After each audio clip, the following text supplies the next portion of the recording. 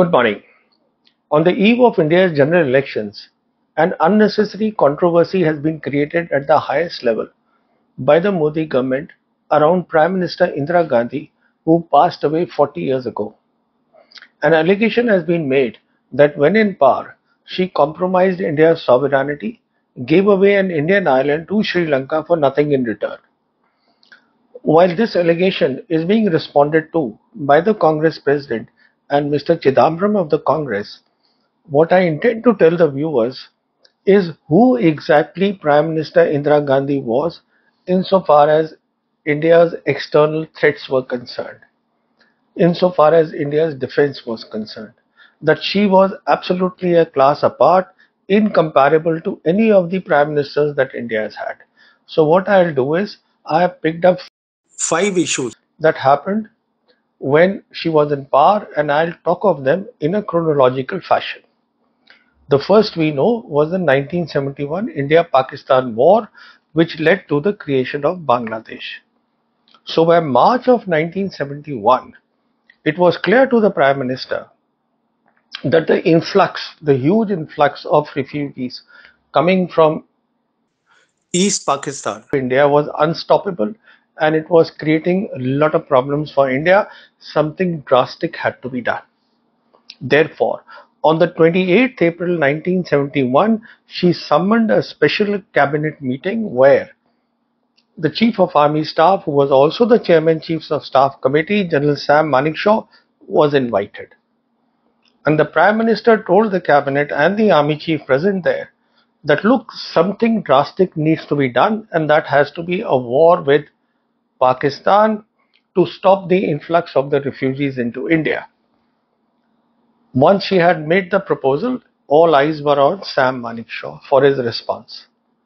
The army chief said that I will I won't go to war right now. I need minimum six months to go to war. And he gave two reasons for that. But before I talk of the two reasons, let me inform the viewers that in those days, and especially when she was the Prime Minister of India, there was a conversation.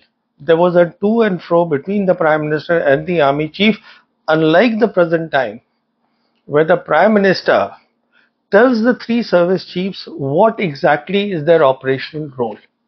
But coming back to what we were talking, the two reasons given by Sam Manekshaw was they were that Prime Minister from June to October is the monsoon season in East Pakistan when one third of that whole area will be underwater and operations will be very difficult during monsoon season.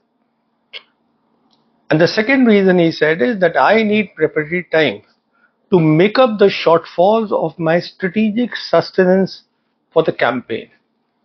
He was referring to the spares, the assemblies, and the ammunition. That was all the things were required.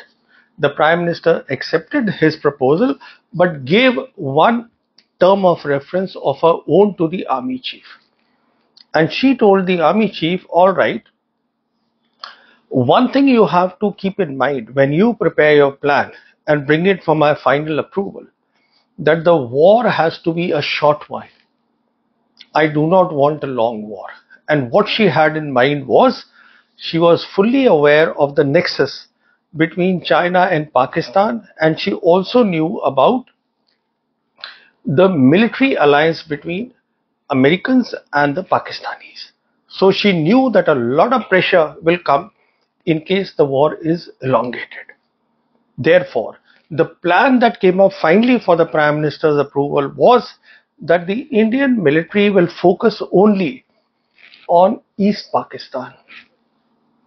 As far as West Pakistan was concerned, that will be held in a defensive mode and Sam Manekshaw gave clear instructions to the Western Army Commander General Candeth that you simply hold the front on the western side.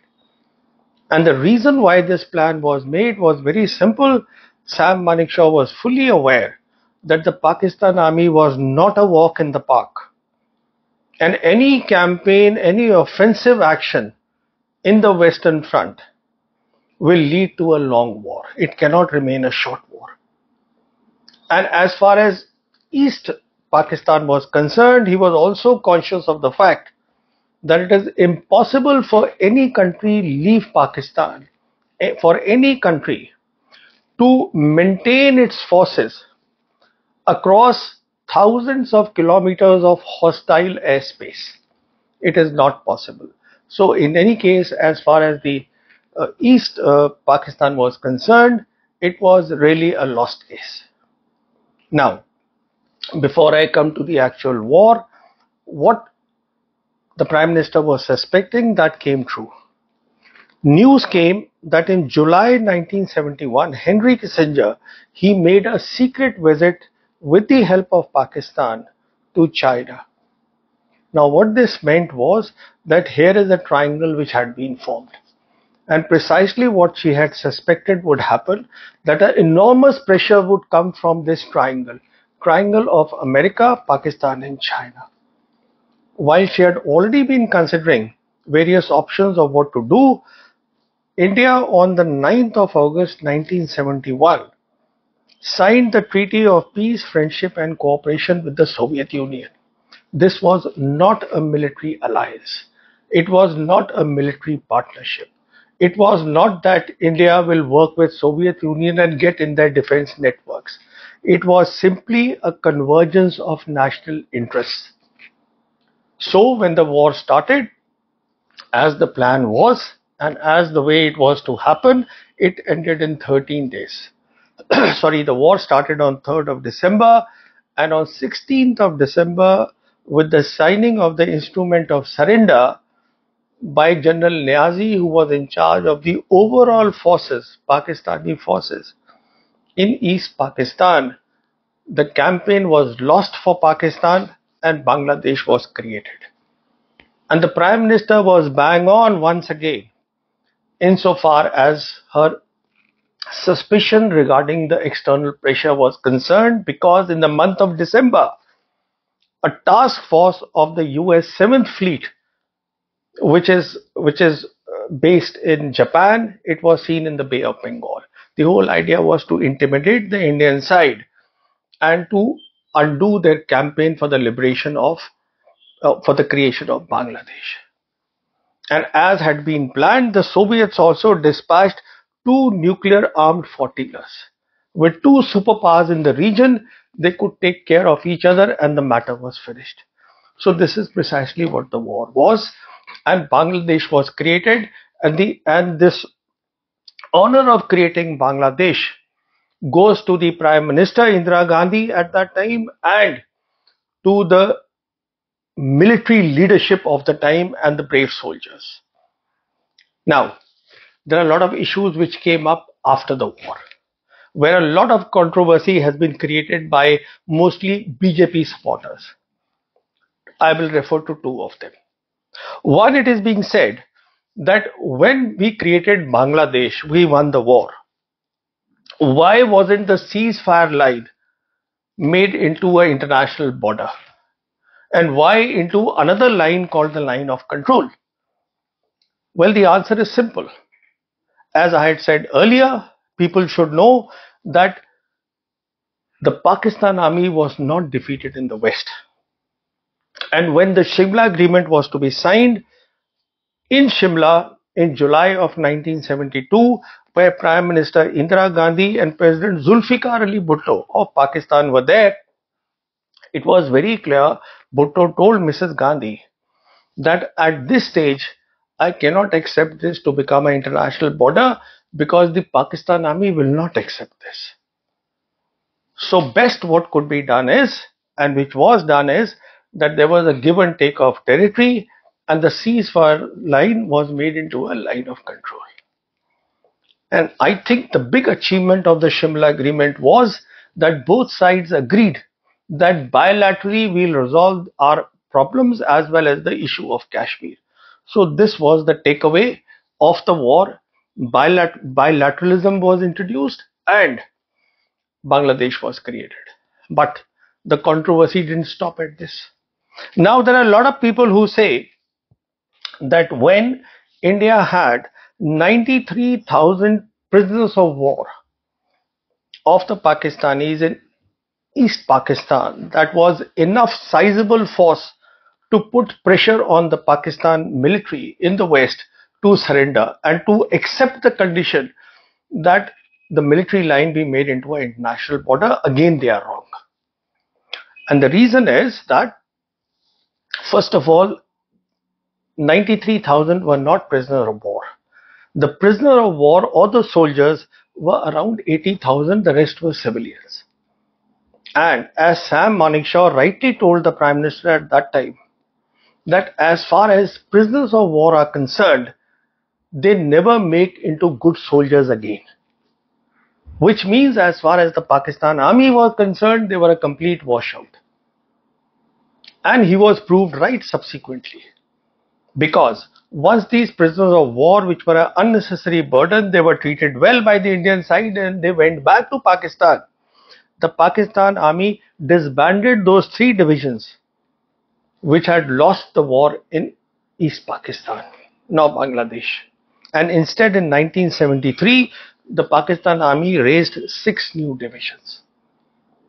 So when we look at the overall 1971 campaign, what comes out very clearly is that Prime Minister Indira Gandhi was not intimidated and was not in awe of the American leadership. It was the other way around. They were in awe of the Indian Prime Minister, something which does not happen or has not happened when the BJP governments have been in power, whether the Bajpayee government or the present government. I'll just come to that in a while with my second instance, big thing that happened under Prime Minister Indira Gandhi, and they were the 1974 nuclear tests done in Pokhran. It was done by the Indian Army over the uh, under the overall supervision of the then director of the Bhabha Atomic Research Center, Dr. Raja Ramanna.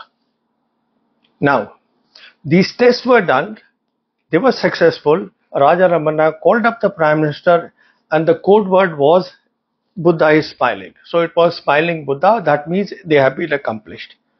Now, what India did was again a very strategic move. They did not call it a nuclear test because the yield was so low, it is being said that the yield was around 11 to 13 kiloton. It was called a peaceful nuclear explosion. Now, any test where the yield does not exceed 150 kilotons can be labeled as a peaceful nuclear explosion, something that the Soviets and the Americans had been doing in the 50s. And the purpose of a nuclear nuclear peaceful explosion is they can be used for making canals, they can be used for electricity generation, they can be used for a lot of non-military purposes. While the Americans and the world were very clear that what India is calling as peaceful nuclear explosions were actually testing of their uh, fission device and the sanctions were also put on India, but India somehow managed to convey to the world, I mean, there was nothing to boast about. The objective was met, and that was it. So it was called peaceful nuclear explosion. Now compare this with the second explosion done by the Bajpayee government in May of 1998. When we know that five nuclear tests were done by the Bajpayee government on two days on 11th of May and 13th of May. And it was said immediately after that that India now has become a nuclear weapon state.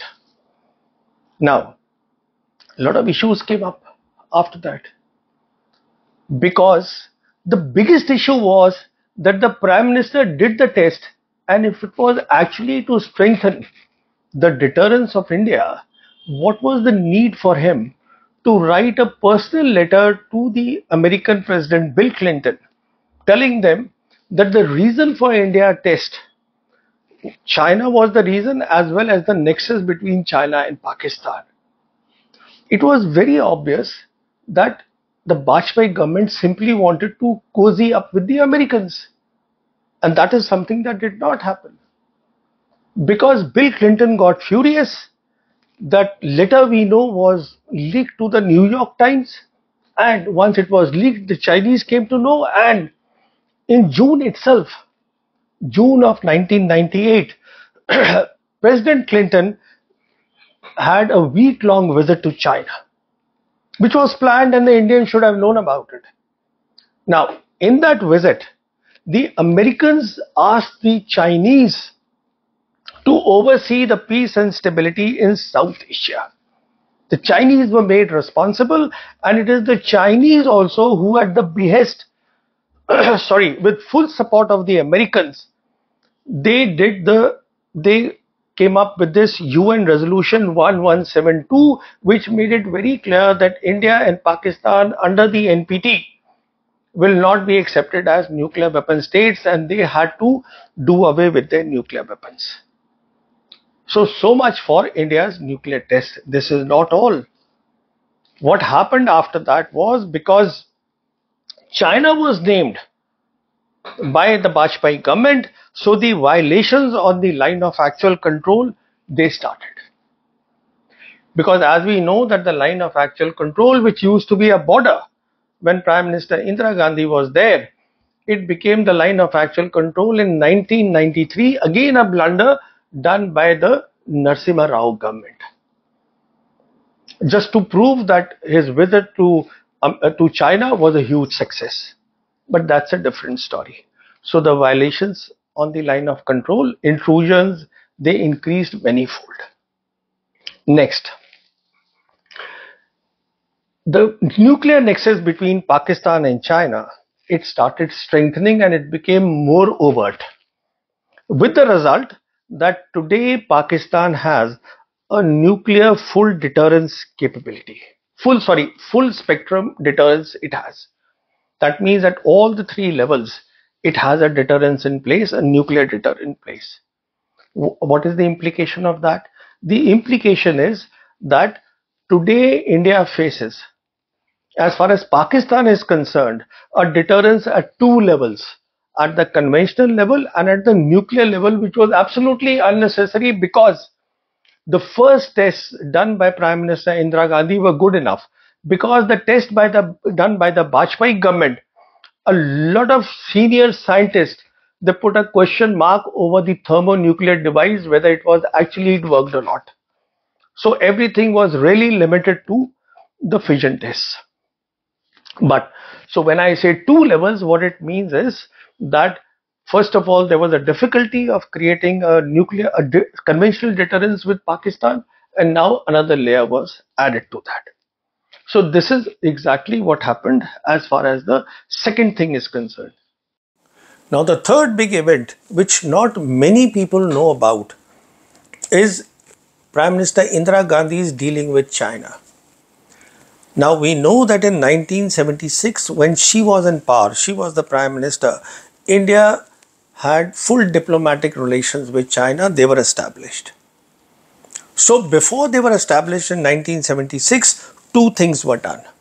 One is that a China study group was created under the chairmanship of K.R. Narayanan, a foreign service officer who later became the president of India. And under his chairmanship, what was done is on the instructions of the prime minister, the patrolling policy against China, at that time it was still a disputed border.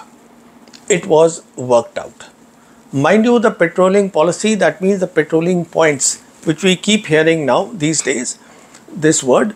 Now, patrolling points, they, this policy basically meant that till where the Indian patrols will go on the disputed border. And this was done in 1975.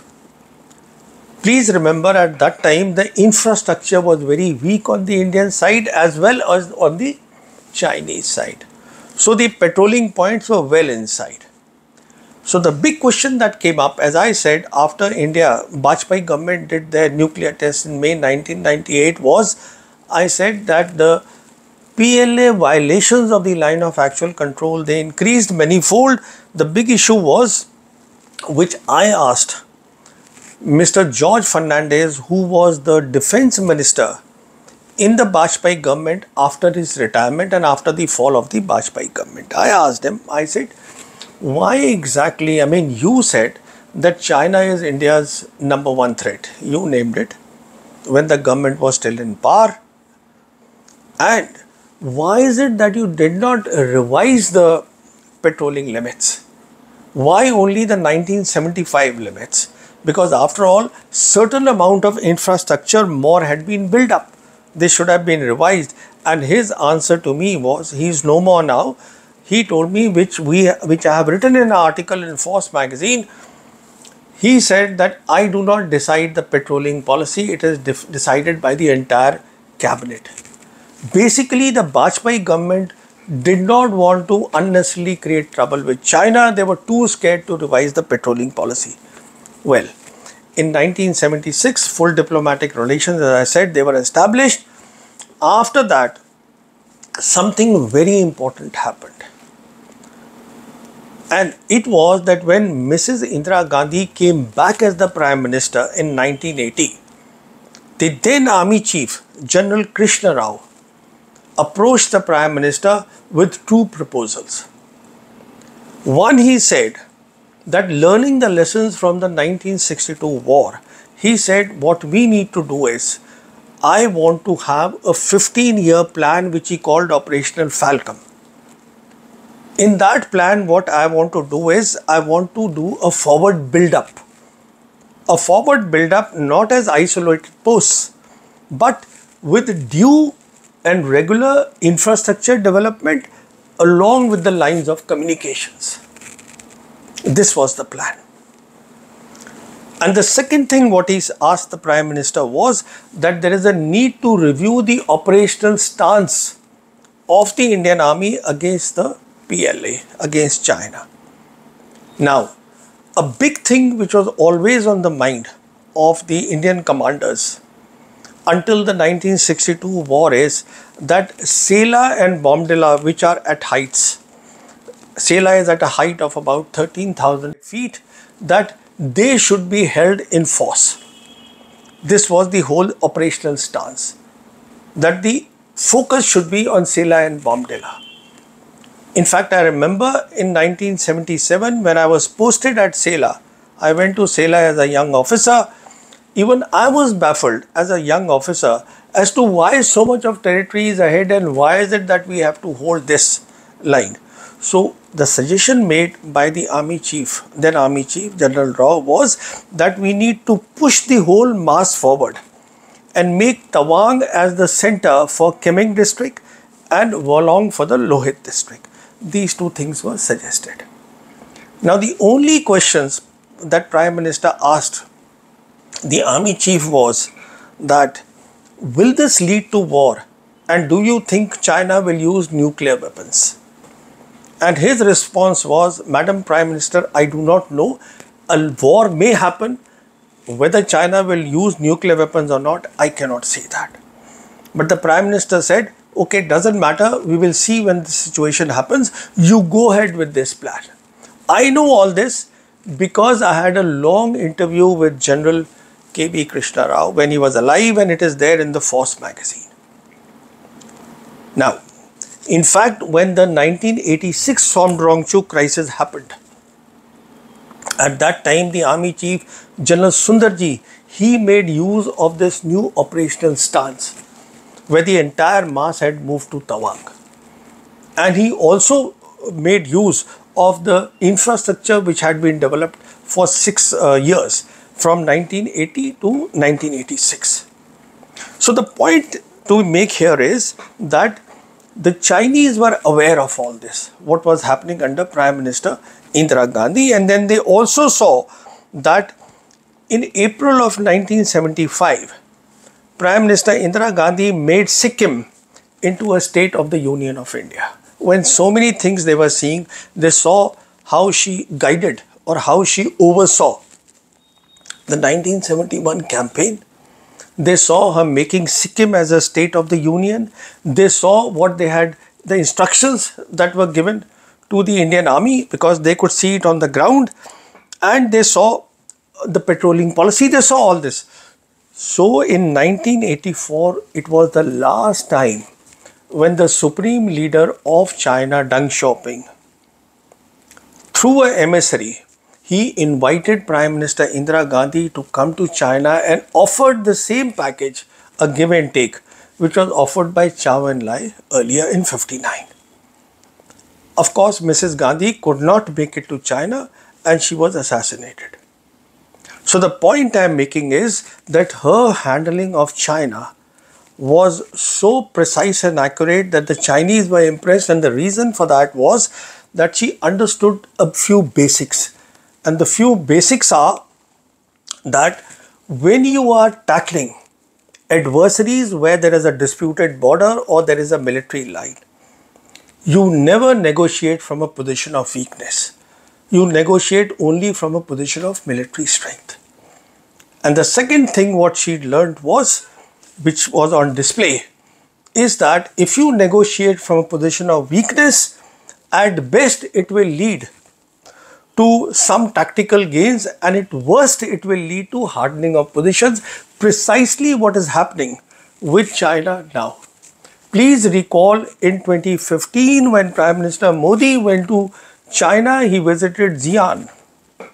There publicly he told the Chinese President Xi Jinping that the two countries need to uh, see how the line of actual control works and we need to decide that on the ground. And of course the Chinese President did not respond at all because the Chinese don't have any intentions of doing that.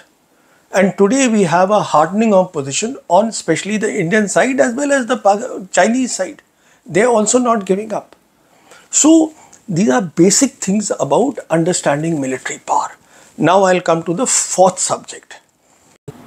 Now the fourth thing that happened concerning national security and defense and deterrence when Prime Minister Indira Gandhi was in power was that she sanctioned in 1983 the Integrated Guided Missile Defense Development Program. This was a big thing at that time in 1983. And under this plan, the DRDO was to make a total of five missiles. Two were ballistic missiles, Agni and Prithvi. And two were quick reaction surface to air missiles, Akash and Trishul and the fifth was anti-tank missile called Nag. This is what they were to make. And the reason why it was sanctioned by the Prime Minister are two. Number one, by the peaceful nuclear explosion, India had already tested the fissile material. Now what India needed was a vector, a delivery system. And the delivery system had to be a missile. So the focus really in this, as far as this plan was concerned, was on Agni. Because Agni was to have a range of 2500 kilometers and it was given, it was not called a missile, a program, it was called a technology demonstrator. And the world knew that when you make a missile with such a range of 2500 kilometers, you don't test it with conventional or you don't use it with conventional warhead and you know destroy a couple of buildings in the enemy area. It doesn't make sense. It has to be used with a nuclear warhead. So this was the whole idea. So this whole plan was conceived uh, and the Prime Minister gave the, the sanction. And the second reason was that Prime Minister introduced the missiles in South Asia. It is another story that the DRDO failed to keep pace with the missile program. They failed to make good progress on the missile program. And Pakistan managed actually to outpace India insofar as the missile race was concerned with the help of the Chinese and of course a lot of the ingenuity and innovation. That's a different story. Now, now we come to the fifth thing. The fifth thing as we know is Siachen which is called Operation Meghdoot, which was cleared by Prime Minister Indira Gandhi. We know that this operation started on 13th April 1984 and continues till this date. And the genesis of this operation goes back to the military line between India and Pakistan. In both cases, in 1949 when the ceasefire line was created and in 1972 when the line of control was created. It was converted into line of control. The northern end was left hanging because it was felt that at the northern end, which was the point on the map called NJ9842, both sides did not bother to take it northwards or take it forward because it was said that look in the glaciers the capability does not exist with either country to take a war there which i think in hindsight was a disservice done by military officers on both sides. It should have been taken to the northernmost end. But it was not done. And this is the genesis of the Siachen campaign. Once both the sides they had the capability to do high altitude operations to be on a glacier. Once it came then the race started for this glacier for the Siachen glacier. Now as far as the genesis is like this this was really a race. So the northern army commander at that time was Lieutenant General M.L. Chibber and the 15 Corps commander under whose jurisdiction this glacier came was Lieutenant General P.N. Hoon. Now, they approached Prime Minister Gandhi and she was told that look, this is the area and we know that the Pakistanis are also preparing to go and occupy this glacier. We want to go and occupy it. The Prime Minister gave the go ahead. And now a question is to be asked why is it that Prime Minister Indira Gandhi gave the political clearance for Siachen? And the reason was very simple. She was clear that a free run in North Kashmir, in what is called northern areas or what is today called Gilgit Baltistan, a free run by Pakistan and China, which has been going on right from 40, 1948, has to be stopped. Instead of being reactive, India needed to be active. This was the political logic for the Prime Minister to give the clearance.